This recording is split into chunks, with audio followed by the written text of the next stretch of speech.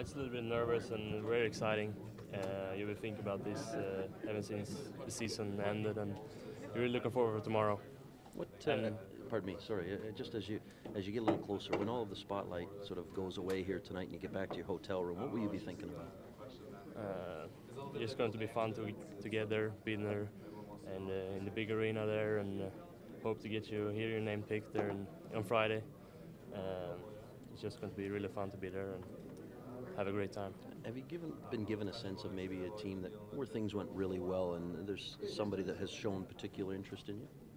No, it's nothing special team, but uh, there's some things maybe that show a little bit interesting. Have some I have some meetings today, but uh, it, it happens a lot. Uh, some trades maybe tomorrow, and it's you never know what's happened. So, uh, but uh, yeah, we will see.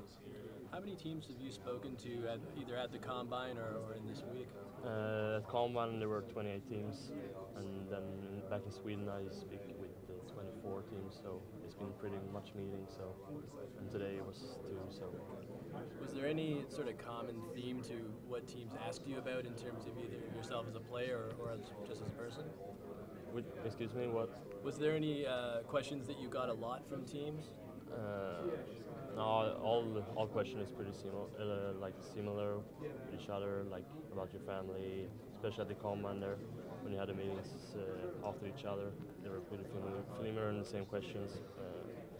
But yeah, it was really fun too. So. How surreal is it, Gabriel, to think that tomorrow your sort of immediate future will be impacted, and you're going to go down a whole different road than maybe where you've been going these days? It doesn't matter what team or what city selects you, you're you're going to have a new chapter. Yeah, exactly. In, in Sweden, there the juniors team there's not so much media around, and it's, it's way different when you come here, and uh, um, it's it's a new beginning, as you said. Yeah, it's good.